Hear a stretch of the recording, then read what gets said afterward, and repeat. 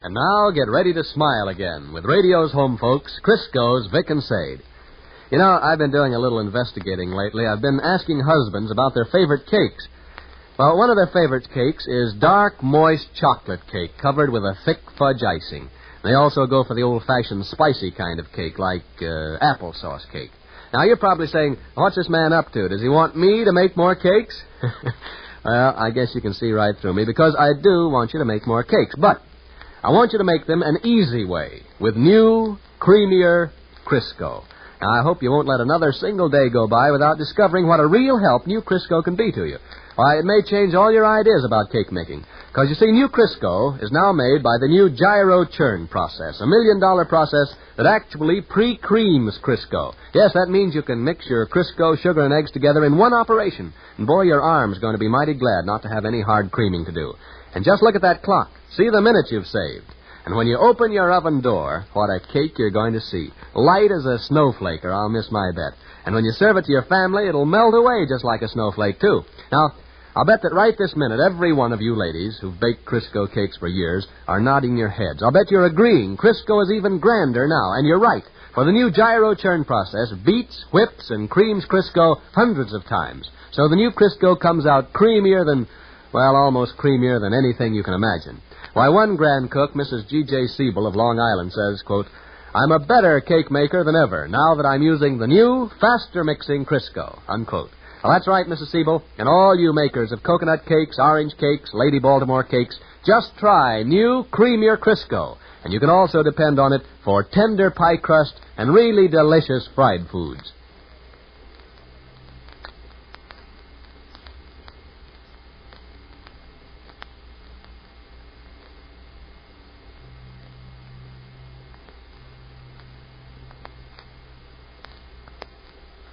Well, sir, it's a few minutes past nine o'clock in the evening as we enter the small house halfway up in the next block now. And here in the living room we find Mr. and Mrs. Victor Gook abiding quietly at home. They've been playing rummy for the last hour or so, and the game has begun to take on a sluggish, lackluster quality. Listen. I win. Let's see your cards. Hmm. Sure you win. Got three queens, three deuces, and the four, five, six, and seven of hearts. I lose interest in rummies after about so long a time. The spades start resembling clubs. You any quit? Would you just as soon? All right. Not much kick to the game when your opponent's half asleep. I am a little tired. Too early to go to bed? Courthouse clock struck nine about five minutes ago. Oh, I bet I sleep so sound tonight you could send my undershirt to Detroit, Michigan Pasta Post. Paper states showers sometime before morning. I hope they hurry along and cool things off. Oh. Deal out a few more rummies. Might as well be doing something. Okay. Kind of funny that Davis boy storming in here this evening, wasn't it? I've learned that there's nothing extraordinary in the most ununderstandable behavior on the part of 14-year-old boys. Being the father of a 14-year-old boy, I'm tutored in all Here's the... your 14-year-old boy now. Rush? Hi. Here's a beautiful bouquet of tickets for you, Charlie. Thanks. Hope I can tell the hearts from the clubs. The hearts are red, the club's black. I mean, the diamonds from the spades. After so many rummies, I get so I can't keep my mind on what I'm Mr. doing. Davis didn't disturb you when he come after rotten suitcase a while ago, did he? Not too much. Of course, I had to climb upstairs after. Well, it helped along the excitement. By George, I never enjoyed such high-class excitement in my life. What excitement do you have reference to, Sunburn? Center Street. Has there been excitement on Center Street? I'm discarding the six of clubs. I can use it in my business. I beat your father three times in a row. And didn't Rooster explain? Explain what? About Center Street. No, what about it? Rooster never said a word. He come to the door all out of breath and wanted that big old imitation leather suitcase you borrowed off in his brother. Gov went after it, and he grabbed it and was gone. Well, I'll be darned. Why? What happened on Center Street? A house collapsed. Ah. You telling the truth? You don't know about it? We've been sitting here playing cards ever since around 7.30. Never heard no noise? Never heard no people yelling? Never heard a sound. Telephone hasn't even rung. Except for Rooster storming in, it's been quiet as my thumb. The Dutch. house collapsed, you say, Temple Bells? Yeah. I collapsed one time myself. I was on the outskirts of Cleveland, Ohio, where I just officiated at a wedding ceremony. After kissing the bride, I pocketed the five dollar bill given me by the bridegroom and prepared. You know that place in the 300 block on South Center with the second story porch that runs clear around the whole house? Has it got fragile hedgerows and morning glories and a solid gold belfry which catches the dazzling Give me a show, Gov. That place collapsed this evening. It is a nine of spades city. I trust it You were talking fun- about that big boarding house looking place, Willie. Sure, it collapsed at 8 o'clock. What you mean by collapsed? Fell down. Ah, a great big mud. The whole thing didn't fall down. Just that second story veranda fell down. But to look at it, you'd think the entire house had been hit by a cyclone. That's the truth. If it's not the truth, you can send my undershirt to St. Paul, Minnesota, cash on delivery. If it's not the truth, Was anybody hurt? not a soul. And it's the luckiest thing since the bullet that choked Billy Patterson. Why, that second story veranda weighs tons and tons. It crashed like thunder. Busted the first floor porch into smithereens. Broke every window in the house. There's chunks of lumber and splinters of wood scattered up and down Center Street for half a block. You're not exaggerating, are you?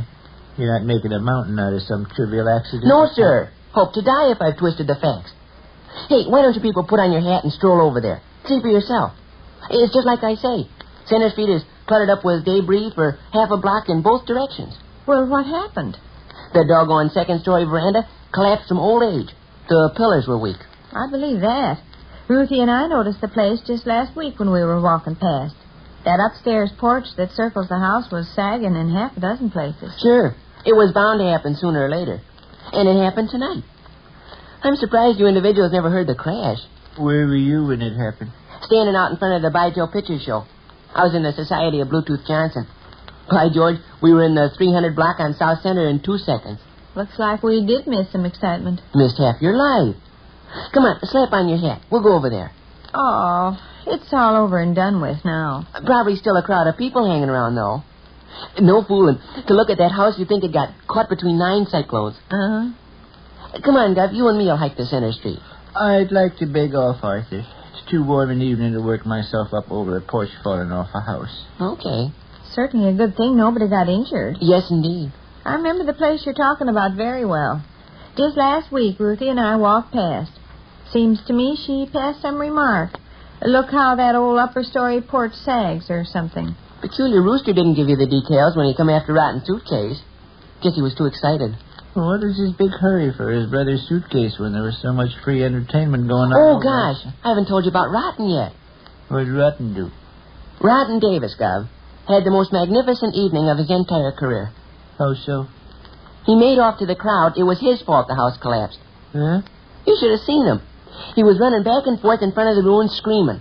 I lost my temper, he kept yelling. I lost my temper. Uh, Yeah. He was making a public spectacle out of himself, yeah. Five minutes after the big crash, about 200 people were on the spot. They didn't know what happened. They just saw this house all busted to pieces and lumber laying around every place. And here was Rotten Davis, tearing his hair and rushing around crazy. I lost my temper, he kept screaming. I lost my temper. The people got the notion Rotten had lost his temper and torn the whole house down? sure, they got that notion. Oh, my. It was a magnificent thing to witness. The crowd opened up an alley for Rotten to run back and forth in. And he run back and forth in it till who laid the chunk. I lost my temper, he hollered. I lost my temper, and look what I've done. Remember now, the house looked like it had been hit by a cyclone. An innocent bystander guess it'd take nine men, eight days to do that much damage. Oh, my. Rotten Davis seen his opportunity and grabbed it. He had that enormous throng of people in the palm of his hand. If he'd looked tough at any of them, they'd have started for home 90 miles an hour. oh, it's wonderful. Wonderful, I tell you.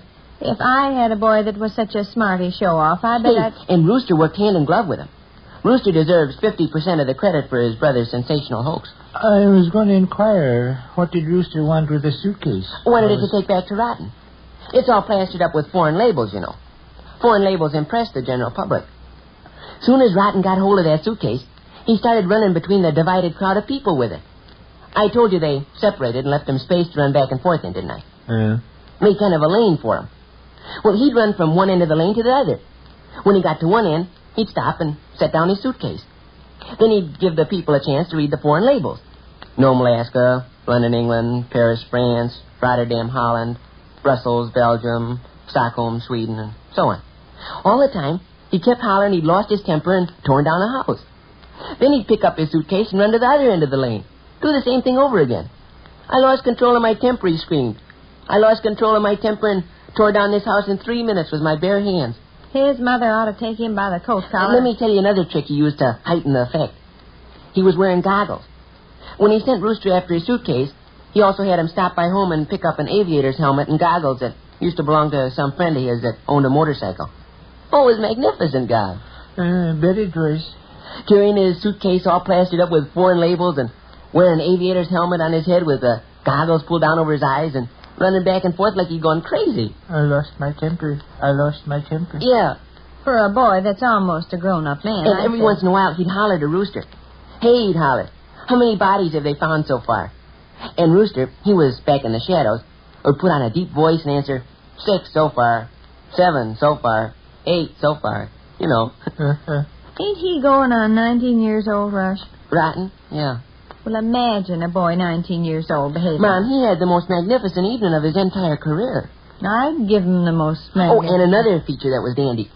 Three young ladies he likes were in the crowd. Eh? Three very handsome young ladies he's ambitious to escort to the picture show and places were present. I bet he's their hero now. Oh, boy. You seem to have had just about as satisfactory an evening as Rotten did. I had a delightful evening. Hmm. A delightful evening.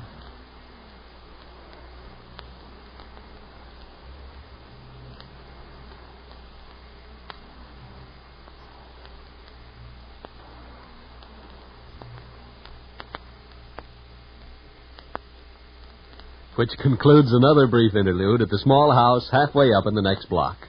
And there we leave Crisco's Vic and Sade until the next time.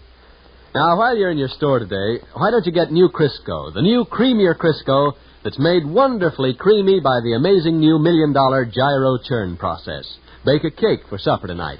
You'll be delighted when you see what an elegant cake you get so quickly and easily the new Crisco way. Why, just listen to what one cooking expert, Mrs. Margaret E. Thomas of New York City, says. Quote, it's amazing how easy cake mixing is with creamy Crisco. Crisco blends in a few stirs, cutting out all hard creaming. Yet Crisco cakes are as light as if made the old slow hard way. Unquote. Now that's what one expert says, but let me add that hundreds of cooking experts use new Crisco. In fact, out of 753 teachers in public schools from coast to coast, nine out of ten of these teachers said, we use new Crisco in our cooking classes. So get new Crisco. Try it for cakes, for flaky, tender pie crusts, for crisp, golden fried foods. And don't forget to listen to Crisco's Vic and Sade the next time. This is Ralph Edwards speaking.